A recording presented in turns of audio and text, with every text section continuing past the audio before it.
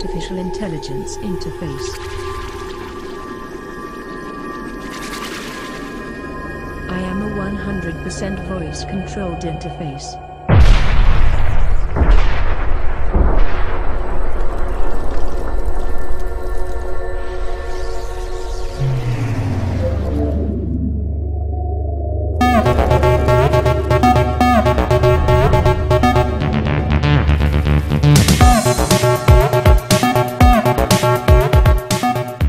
The Jetsons? Who didn't dream of that home? A home that knows us and how we live, and generally makes life better and much easier.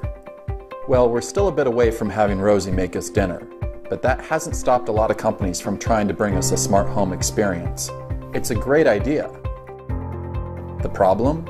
The smartphone is not the answer to smart home. This only makes a simple task like flipping a light switch even more complicated. The smart home that's been delivered isn't all that smart, out of the box. Here's why. Typically, smart home systems have a central gateway that allows you to control and monitor your home.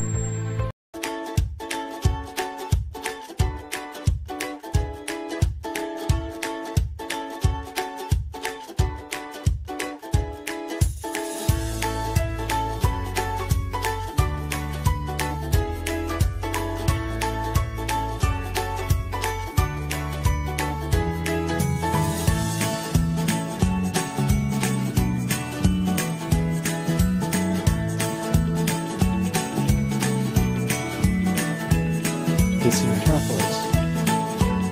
Ring is a Wi-Fi enabled smart plug that allows you to have full control over your lights and electronics from it is easy to install.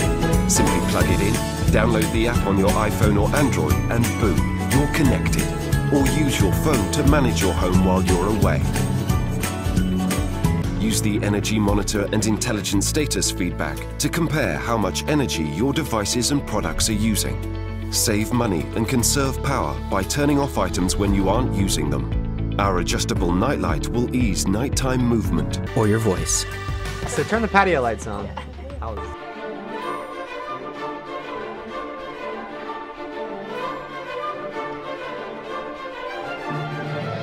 Okay Google, what is your name? My name, your Google Assistant. My mission, to assist you. My favorite color, probably blue, but it changes sometimes. Okay Google, turn off the light. Turn off the light. Okay Google, turn on the light.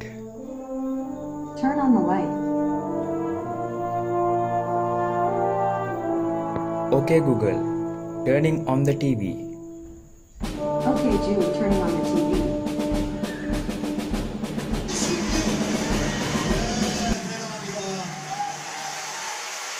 Okay Google, where is NIBM located? The address for National Institute of Business Management is Vidya Mawatha, Colombo 00700. Okay Google, translate goodbye into Japanese. Sayonara. Okay Google, play my favorite song.